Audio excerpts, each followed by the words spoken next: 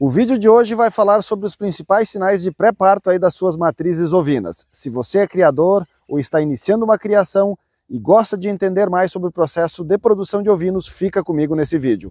Vamos entender os principais sinais que são um alerta para você mudar os manejos dos seus ovinos e reduzir a perda dos cordeiros e aumentar com certeza a população de ovinos da sua propriedade. Esse é o momento mais aguardado não só pelos produtores de ovinos, mas na verdade por todos os produtores de animais. É o momento dos nascimentos, do aumento do rebanho. Esse é um momento bastante delicado e o produtor precisa entender os principais sinais que fazem com que a sua matriz vá parir e vá ter um parto sem problemas. Entender esses sinais vai reduzir as perdas e aumentar a lucratividade da tua propriedade. Todo produtor gostaria de ter muitos cordeiros na sua propriedade, mas para que os cordeiros cheguem com saúde, você precisa tomar alguns cuidados e observar o comportamento das suas matrizes. O primeiro sinal de que a sua matriz vai parir ou está próxima de parir é a mudança do comportamento. Mudar de comportamento é um dos sinais em que a matriz avisa para o seu dono, para o seu proprietário, que as coisas estão mudando. Normalmente os animais se isolam do grupo e procuram ficar afastados dos demais animais. Buscar se isolar é o principal comportamento das matrizes ovinas, mas algumas matrizes podem ficar mais agitadas do que o normal. A orientação que eu forneço é de que você conheça o comportamento normal dos seus ovinos para depois entender que houve mudanças nesse comportamento. Verificar e acompanhar o comportamento diário dos seus animais é importante para você estabelecer uma rotina com os seus animais e entender quando os mesmos mudam o comportamento e você precisa agir. Um dos principais sinais é o aumento das glândulas mamárias. As mamas vão aumentando de tamanho à medida que o animal vai se aproximando do parto. Na linguagem popular, isso se chama mojar. Dessa forma, o aumento sinaliza que os animais estão por chegar. E a cordeirada vai nascendo e o produtor vai se animando. O aumento e o edema da vagina, da vulva, dessa área externa, é um dos principais sinais da proximidade com o parto. E o produtor Principalmente quem está iniciando deve ficar atento a este sinal. Esse edema significa que os tecidos estão relaxando e o canal do parto está se preparando para a descida dos cordeiros. Fique atento nesse sentido. Junto com esse edema e esse inchaço das mamas, os mamilos também acabam mudando a sua projeção e se projetam normalmente para fora do animal, em direção à virilha, fazendo com que eles fiquem apontados na direção em que os cordeiros vão fazer as mamadas. É uma questão fisiológica que facilita a mamada do cordeiro e a sua alimentação e desenvolvimento posteriores. O mamilo muda o seu posicionamento. Normalmente os mamilos ficam apontados para o chão, nessa direção aqui, na vertical. Quando a matriz tem a proximidade do parto, o mamilo se projeta nessa direção assim, angulado, para fora, favorecendo a mamada do animal. Para o produtor, entender a presença dos sinais do parto, do pré-parto, é importante para garantir uma boa prole, uma boa ninhada. E se você é produtor, com certeza quer ganhar dinheiro produzindo ovinos. Na verdade, não só ovinos, como qualquer outra criação de animais. Se você gosta desse tipo de conteúdo, vou deixar diversos vídeos relacionados à criação de ovinos na descrição desse daqui.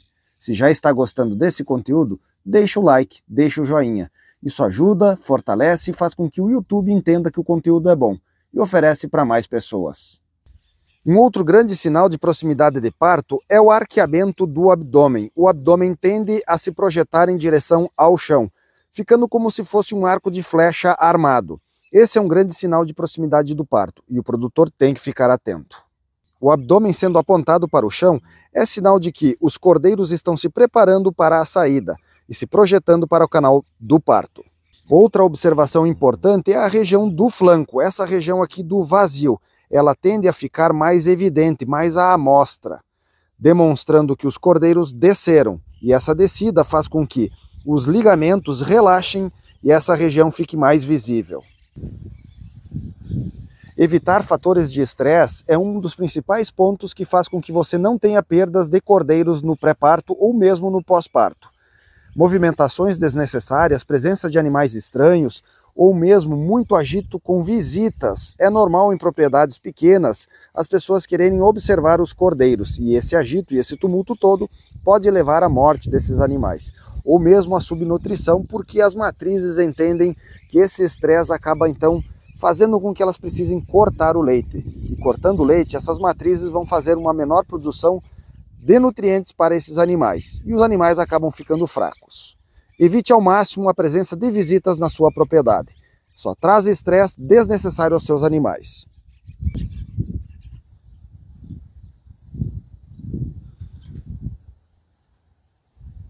Se o seu animalzinho aí, se o seu cão não está acostumado com a presença de cordeiros, ele vai acabar se tornando uma ameaça e você deve evitar ao máximo a presença de cães dentro dos piquetes de nascimento de ovinos. Mesmo numa brincadeira, uma mordida de um cão pode danificar gravemente um cordeiro que é recém-nascido como esse daqui, e você vai acabar perdendo o animal. Não morde ele, Todd. Tá? É amigo.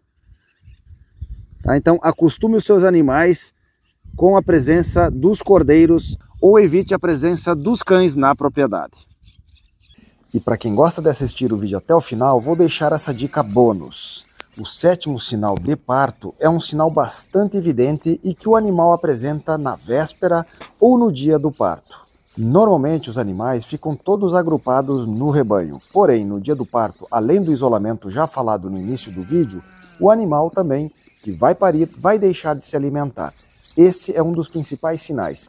Refugar a alimentação fornecida no coxo, principalmente, ou suplemento verde fornecido em fenil, é um sinal de alerta e o produtor deve ficar muito atento neste dia. Bom, e entendido todos os sinais da proximidade do parto, e se você for um felizardo de conseguir assistir um parto durante o dia, pois a maioria dos partos ocorrem à noite. 80, 85% de todas as aparições, e não só nos ovinos, na maioria das espécies animais, é à noite. Quando você for sortudo e conseguir acompanhar um parto como nós aqui, vai perceber o início das contrações. Esses são os movimentos que uma matriz ovina vai fazer para expulsar o feto.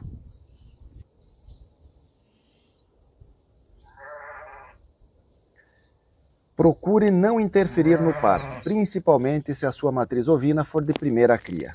Interferir no parto vai fazer com que ela entenda que para a próxima vez ela vai também necessitar de ajuda. Vai haver tipo uma dependência desse animal do teu apoio. Evite ao máximo fazer intervenções.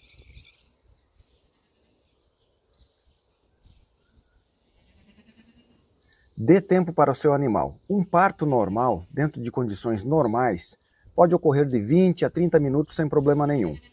Só interfira se os partos forem muito demorados, acima de uma hora. Aí você deve interferir. Rompeu a bolsa e o feto ainda não foi expelido? Procure auxílio. Inquietude, agito, levantar e deitar novamente é normal. Observe o animal de longe e deixe as contrações aumentarem.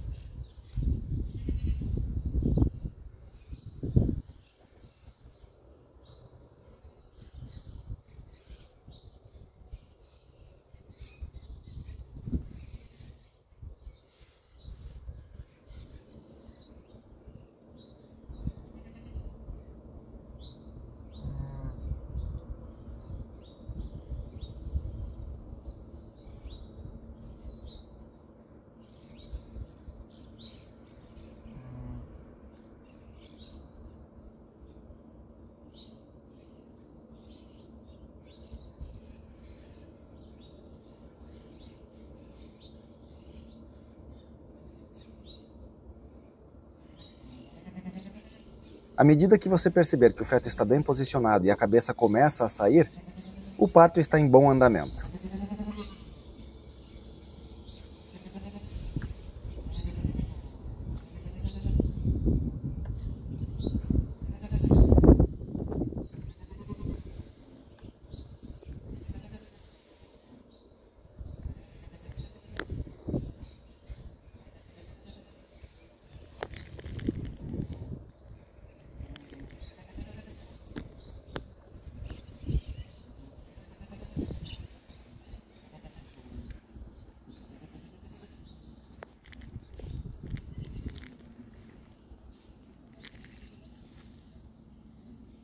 Essa é uma ovelha de primeira cria, ela já está em trabalho de parto há mais de 40 minutos e está bastante cansada. É provável que a gente precise auxiliá-la. Se for precisar um auxílio, faça o mínimo de força possível. Apenas dê um empurrãozinho. No bom sentido, na verdade você vai firmar e deixar a fêmea fazer a contração.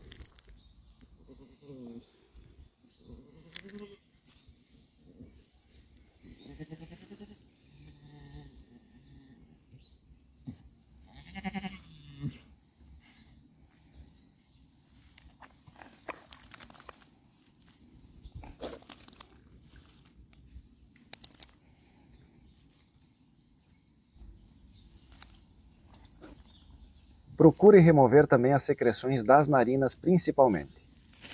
Isso ajuda o fetinho aí recém-nascido, nosso novo membro a respirar. Essas secreções podem afogar dependendo da posição que o seu cordeirinho nascer. Faça a remoção vigorosa dessas secreções.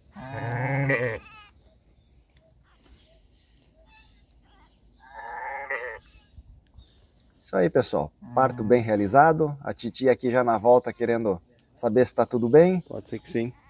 Intervenção mínima realizada.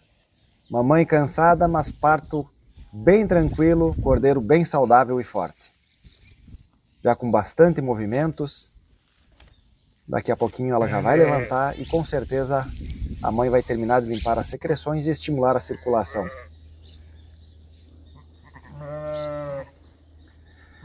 Bom, pessoal, era isso. Quem não é inscrito, se inscreva no canal. Se gosta desse tipo de conteúdo, ative todas as notificações. Meu muito obrigado aos nossos membros e um abração a todos os nossos inscritos.